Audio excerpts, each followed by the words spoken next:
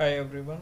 Today we would like to see how to install NetBeans ID 8.2 in CentOS.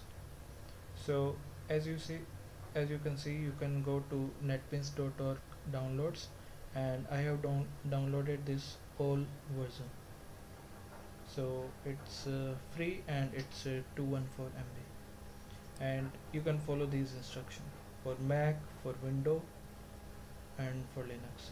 So let us start. So here you can see in my home folder I have got this file netbeans linux.sh so I would like to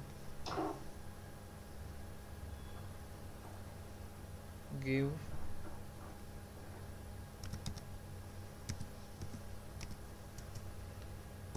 this command dot slash netbeans 8.2 linux.sh or your executing file.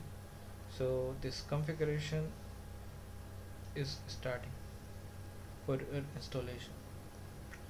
Here you can see there are so many options. You can choose any one of it. You can customize. You can choose whether you want to install glassfish or not. You can choose you want java se java ee me php groovy whatever so I'm just choosing everyone and putting next. I accept next and this is the folder where you would like to install. So install the netbeans id so this is going to install home folder. This is going to install in home folder and this is going to use this java version this particular java version. So next and this also asking for glassfish server. This also at home folder. Next. Check for updates. Install. So it will take four to five minutes while installing. And during this time I'm just pausing the video and will resume. Now you can see that uh, installation is about to get finished and it's installing glassfish server.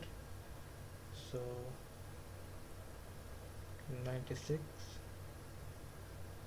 percent 97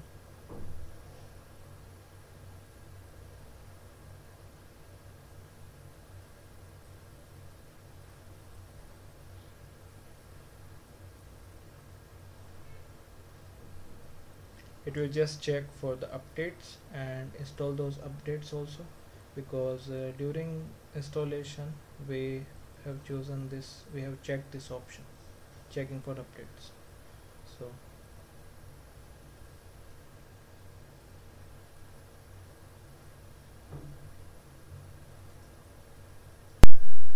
so now you can see the installation is finished and installer has uh, installed your netbeans id installation. So just finish it that's it. Now you check your home folder and there must be netbeans so you can start using this. Thanks for watching